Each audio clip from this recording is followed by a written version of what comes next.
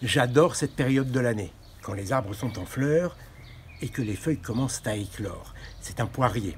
Elles sont toutes petites, mais déjà le théâtre d'un phénomène extraordinaire. À l'instant où je vous parle, les cellules qui composent la feuille captent le dioxyde de carbone qui se trouve dans l'atmosphère. Au même moment, les racines puisent de l'eau et des sels minéraux dans le sol.